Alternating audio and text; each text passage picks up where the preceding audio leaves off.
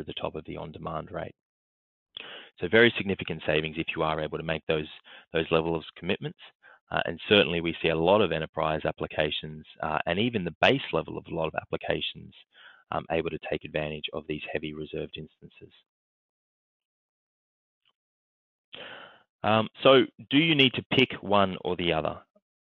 Uh, and the answer is no. The highly optimized environment, compute environment within AWS would leverage a combination of all um, or at least on demand uh, and at least one type of RI. So what you see here is what we would see in a typical enterprise application in that it really picks up from about 7 a.m. Uh, and then at about 7 p.m. it really drops off. And so what you have is you'd reserve potentially um, four instances, which is that blue line there, um, to get the most off those servers that are pretty much running even all through the night. Uh, then those business work hour RIs, you might purchase the light reserved instances, another five there. Uh, and then you have that those peaks when you're not sure if it's if it's going to be used a lot, if the tool will be used a lot that day or a little. So there is still some level of variability uh, in the application, um, but you can just leverage those on-demand instances there. Uh, and theoretically, you could lay a medium in between if the application uh, could take advantage of that, and you could lay a spot instances on top here as well. Uh, so you can use all business, all the business models uh, at the same time. So I kept talking about those key components that you need to choose when you're purchasing a reserved instance. Uh, and these are the five. So region, um, uh, hopefully a lot of you have started using the Sydney region, which has been around for over a year now. Uh, within the Sydney region, we have two availability zones, um, A and B. Uh, and then there's a, a, plethora of instance sizes. So what we're talking about there is the M1 small or the, um, the high memory extra large, uh, or whatever instance types you're using. Uh, the operating system, uh, so Linux, Windows, whether it's Red Hat Linux or Free Linux or whatever it may be. Uh, and then finally, VPC or Classic. So what do I mean when I say you select these five things and then um, you can run whatever you'd like on it? It means if, for example, you were to purchase a Linux M1 Large in Sydney uh, in Availability Zone A, um, throughout the year, for example, that you purchased it for, that same M1 large reserved instance price could be applied to your mail server, your web server, your database server, uh, your NoSQL database server. It doesn't matter as long as it matches those five things. Now, I mentioned that we've introduced greater flexibility recently. Uh, and the good news is, of these five things, three of them can now be changed um, regularly throughout the lifespan of the reserved instance. So we'll dig into exactly what that means.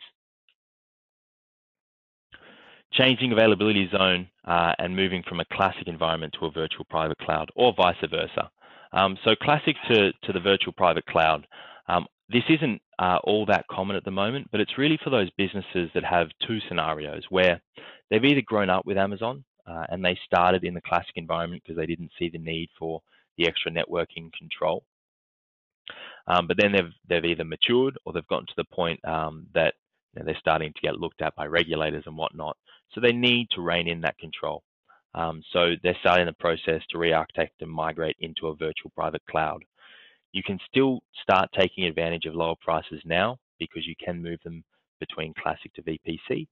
The other environment is where a business might have launched, uh, say, a website a completely public website with no customer data, and they've just said put it in Classic because we don't want to deal with even the limited networking muck that is VPC. Uh, or they did it before we made that a lot easier to manage. Uh, so you can now comfortably start reserving. Uh, now, the availability zone one is something that I, I, am more excited about. It's the ability to move between, um, say, A and B in the Sydney region, your reserved instance type. Um, there are different reasons why you might do this. Um, it could be that uh, you start your application and initially you run it all in a single data center because either you haven't had a conversation with, with one of our architects to explain that it's potentially just as easy to run um, your load balance service across both data centers. Uh, or you're splitting up your servers and, and, now you've got more RIs and you want to increase the availability by running across zones. So what you can now do is very easily move from A to B, from B to A, uh, and so forth as many times as you want throughout the duration um, of your reserved instance term.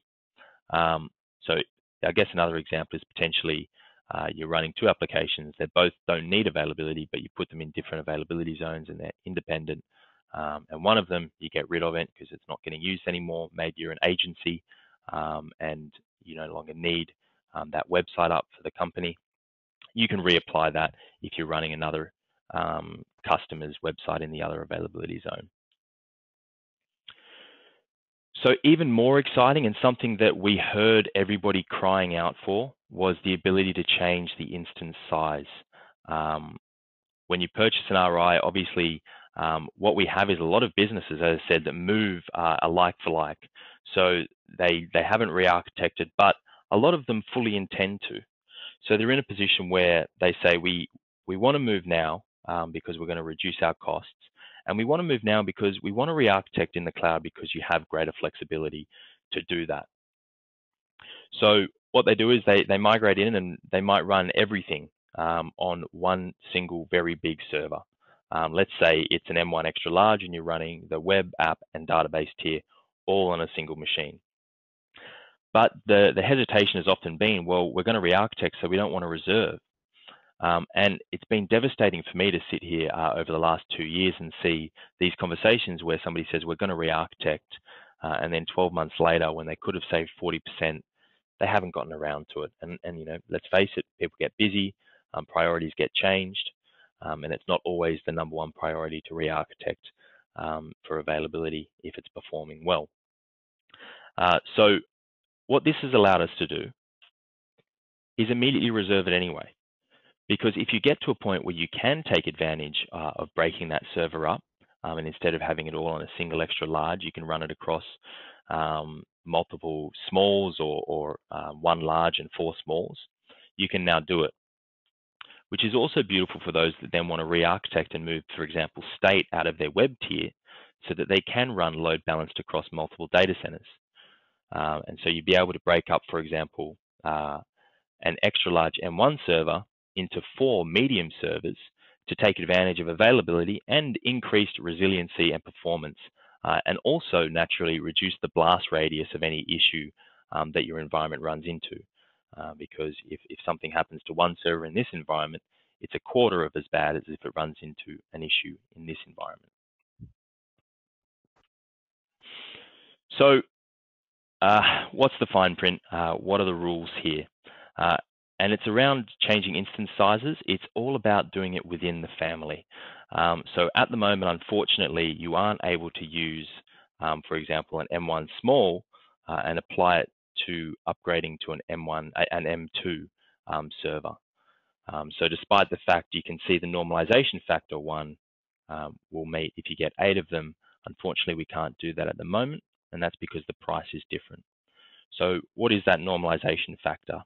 Um, and I really like this because this can change your thinking of purchasing RIs from thinking about purchasing um, a specific instance type to thinking about purchasing points.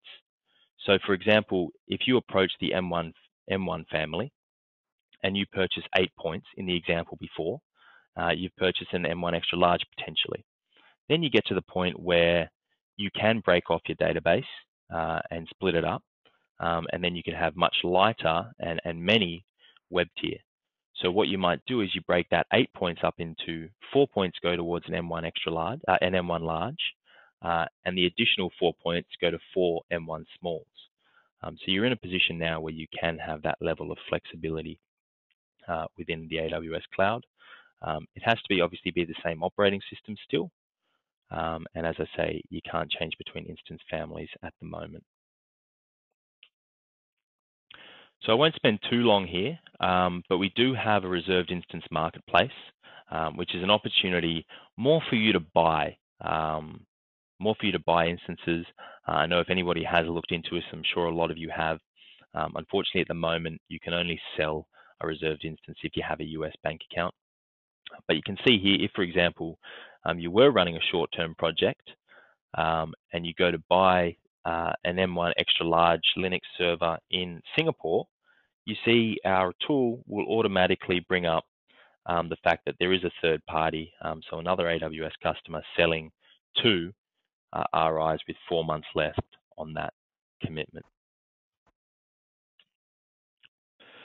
All right, so the proposal um, that hopefully a lot of you have in your inbox. If you don't have it, um, feel free to get in touch with me, your account manager, and ask for it. Um, and we'll just get you to provide your account details uh, or email so that we can process that for you. Uh, and so the big thing for me is cost savings do favor the AWS educated. And the difference between a business that's done one reserved instance purchase uh, and one that has done none is hugely significant because the business that's just done the first one understands that it isn't it isn't a trick. It is Amazon genuinely trying to reduce your bill, and then you can always start looking for ways to optimize that spend and reduce your overall cost. So the proposal that you should have in your inbox, and this is a generic one um, that I generated uh, yesterday. Uh, so what I want to do is step through this